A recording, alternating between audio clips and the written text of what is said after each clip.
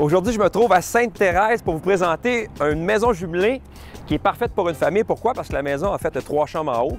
D'ailleurs, les propriétaires ont deux enfants et les deux enfants peuvent profiter de plusieurs choses dans le secteur qui est intéressant. On a une piste cyclable qui est juste à côté et on a un parc qui est à peut-être une minute à pied. Donc, en termes d'emplacement, pour une famille, c'est merveilleux. Étant donné que c'est un jumelé, le prix est excellent. Dans la cour arrière, il y a des choses que j'apprécie beaucoup. Je vais vous montrer ça rapidement. Si vous aimez faire la popote, vous allez voir, c'est fantastique. Ma mère, en tout cas, serait vraiment contente.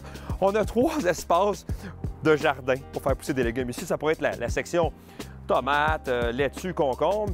Ici, ce serait les fines herbes, ah, de l'oregon, du thym, du basilic. Ici, c'est pour les desserts, évidemment. On aurait plus la section euh, framboises, fraises, et fruits des champs. Puis c'est le fun, faites votre jardin. Le voisin, il sort, vous le saluez. Comment ça va? Il y a une belle entente qui règne dans le voisinage. Puis quand c'est terminé, bon, mettons que c'est le souper. Ah, il faut aller souper. passer par le côté pour aller souper. Salut!